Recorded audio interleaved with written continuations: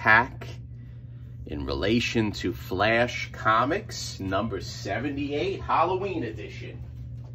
Now, last upload, as you saw, entitled No Piece Left Behind. And that was with Sergeant Slaughter in the thumbnail. So if you haven't checked that out, please go check it out. And what did we do last upload? I focused on this strip right here. As you can see, I was successful in being able to remove all of the medical tape. It did come at a cost though. The piece in question now is in several pieces, which for me it's fine. I guess that's why they had tape on it. So we were successful to remove this, and I am very happy that I was able to remove it because it's a big chunk of the cover. We have a chunk down here, we have a chunk up here, and my goal is to obvious, obviously keep all of these chunks, to put them back into place. I was unable to save a few little pieces here and there, but that's the nature of the game. You're better off having an old comic book from the 40s, in my opinion, free of tape, because as we all know, at least from watching my channel at a minimum, tape is evil and tape destroys paper. Over time, the paper that the tape is on has a good chance of not being there for future generations. So, what are we going to do now?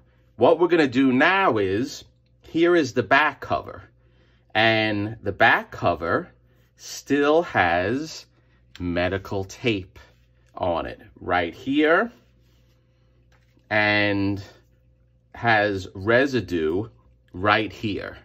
How are we going to move, remove that tape? Well, the first thing that we're going to do is let's get rid of the cover for now. This is going to be a different upload once we remove this tape. I want to show you how I'm going to remove it because I really didn't concentrate a lot on how I removed the tape from the front cover, but let's show you how, I'm going to show you how I'm going to do it on the back cover. We're not going to use Bestine. What we're going to use is xylene. Now, this is thins epoxies and enamels. It also thins adhesive on tapes, and it works very well. It actually works very well on Golden Age books. You have to be careful when using this on Silver Age books and newer books because this stuff can wipe away the graphics. I was lucky enough to have a quick conversation about solvents with Kenny Sanderson, one of the best, in my opinion, conservationists out there. Check him out on Instagram. And we had a conversation about what to do and what not to do. And he's really a great guy. So this is what we're going to use. Stay tuned. Let me get it all set up. And we'll be right back. Okay, guys, we are back for the attack. Now, as you can see, I have the back cover here, and I have my wife's roasting pan. She doesn't use this anymore, so we're not going to have a prime rib put in here for the holidays because this is mine now. I like to use metal when I use solvents because these solvents, when you use them, you have to understand they react differently to plastics. And even as you'll see when I use the bristles of a brush, these chemicals will dissolve the, bristle, the bristles of the brush. So what I want to do is I want to place the actual back cover in the roasting pan. I want to go upstairs. I want to get some onions. I want to get some potatoes so we can make a nice roast of back cover of Flash Comics. Only kidding. Let me set the camera up so I can focus in on the back when I edit, I want to say sorry for the first or second upload in relation to this book because I did use some editing techniques and it doubled a segment of the upload. We're all not perfect. We can't be perfect. Mistakes will always be made. So what do we got here? We have adhesive here and we have a piece of tape here. I'm going to open up the chemical again, xylene. This stuff is a little nasty. All the times that uh, people say you should wear masks, ventilators, maybe with this you should. It should be done in a well-ventilated area. But what I do is after I put the chemical on, I have an outside entrance in my basement. I'll take the pan and I'll put it outside and I'll let it soak outside and then I'll bring it back in when I'm ready to do the work and that prevents some of the fumes. So here we go.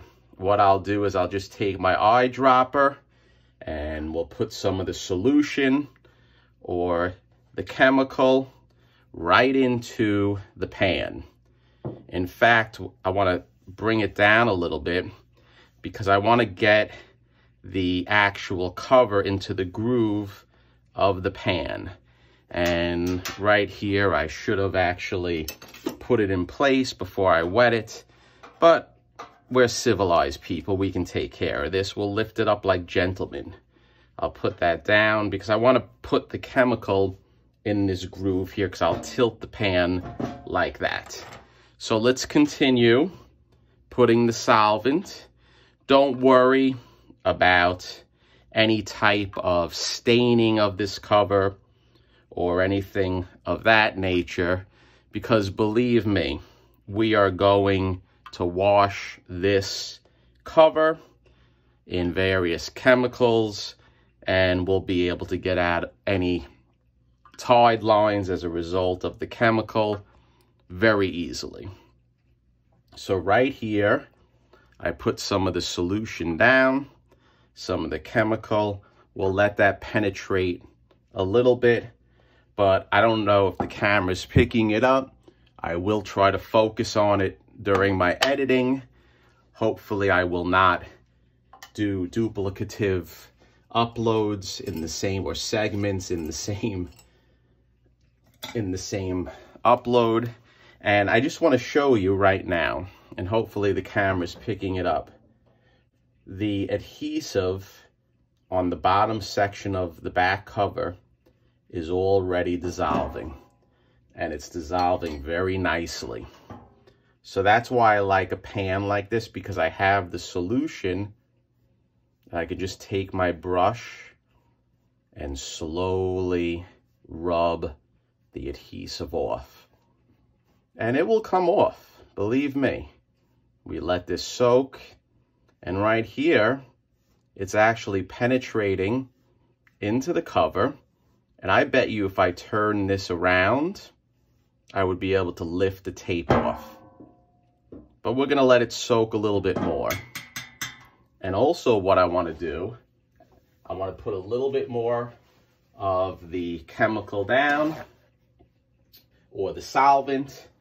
And I'm going to bring this stuff outside because I'm feeling a little high from the actual vapors and I'm only kidding with that as well, but I do feel the vapors.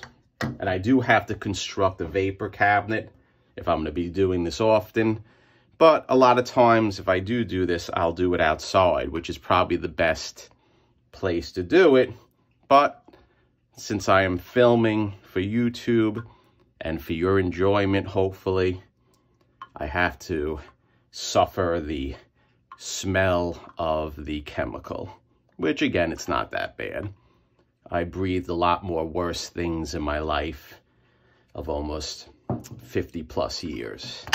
So let's give it another rubbing. This adhesive right here. We'll do the same here. And you see this white stuff in the chemical? That is the actual adhesive breaking off. So what I want to do maybe, let's go a little, let's be a little radical. flip it, maybe I can pull that tape off. Uh, I'm a little reluctant to do it because it is a wet cover and wet covers are weak covers. And as you can see there, there is a split in the back cover. So I don't know if this is a good idea to do this, but let's see if I can do it. You just want to be delicate and you want to lift it up very so slightly and let's flip it around. Let's flip it around. Let's put it down like this. Now I'm not using Reemay paper as you see. I'm just doing it freehand and sometimes you can do things like that. If you're experienced, you have to be very delicate. As you can see, I hope the camera's picking this up. There you go. The tape is, see how the tape is just coming off with the chemical? So it is working and bam, bam, bam. There you go, everyone. There is the medical tape removed 100%. No graphic lost. So this chemical is the way to go. Xylene or xylol. I'm sure someone will say I'm pronouncing it wrong. I do have a lot of people who like to comment of my pronunciations from time to time of things, but that's okay. I can take it. So, what we're going to do, guys, now is I'm going to let this soak. Let's put a little bit more in. And then after uh, it's done soaking, I am going to take the back cover. I'm going to put it on a piece of Reemay paper. And after putting it on the Reemay paper, we're going to rinse the heck out of it with soap, get this chemical out of it for the next time that we put another chemical in it. So, stay tuned. I'll see you shortly, and we'll see how it turned out. Okay, lady and ladies and gents, we are back.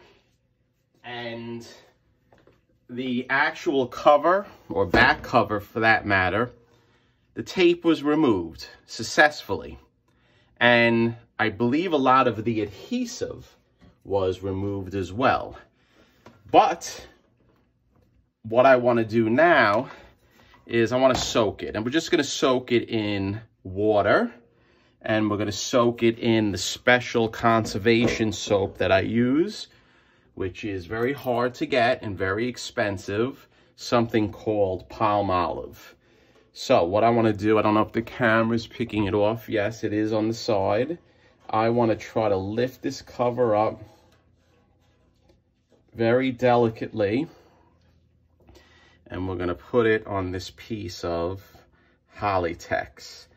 Now, what's good about what just happened is that when I remove the piece of medical tape, which is right here, I was able to reveal a piece of the cover that was flipped over. So I want to try to keep right here, I want to try to keep that straight because if we can use that, that would be awesome. Every piece counts. No piece left behind. Isn't that what I say?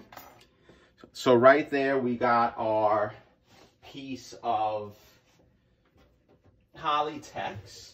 Now what I want to do is I'm on the side of my workshop where I have a chest toolbox and I keep my papers and things of that nature. Let's put another piece of, that's Reemay. That's not Hollytex. So I'm going to put a piece of Reemay and I'm also to the side of my workshop where I keep my grates and glasses. Let's put another piece because I want to try to keep it flat. Let's use some weight. What weight do we want to use? I don't know. I got this right here with my brushes that I have to wash. They're very stiff. A lot of them have methyl cellulose. And let's put this expensive soap and water, which, as you know, is Palmolive. I'm going to run to the faucet on the other side of my basin. Stay tuned for one second. I'm not going to stop the camera.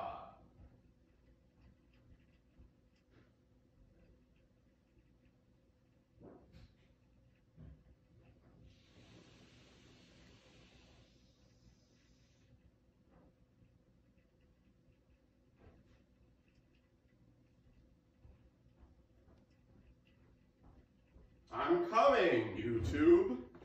Actually, I don't have a faucet in my basement. What I do is I go to the main water line, which comes into the house. And main water lines generally have a shut-off valve and above or below the shut-off valve, they have a spigot, a hose spigot, so you can drain the system if you want to drain the house. So I just use it as a water supply. Okay, guys, so we're going to let this soak. And after I rinse it out, flatten it out, I'll show you what it looks like. But that will be the next upload because we're going to join then the back cover and the front cover and we're going to actually dry clean them. I know it's a little silly saying dry cleaning after we wet it, but we'll be able to get some dirt off. We'll do it very quickly. Then after the dry cleaning, I want to put everything together. And what I want to do is I want to then clean the cover with my chemical. We're going to use, for this one, chloramine T compound. And then after that, what we'll do is we'll do a deacidification.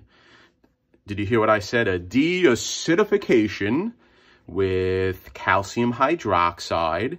And then we'll do some methyl cellulose treatments. And I think with this one, guys, I'm going to do a whole Tengujo backing because this needs it. We, we really we really need it on this one. So stay tuned.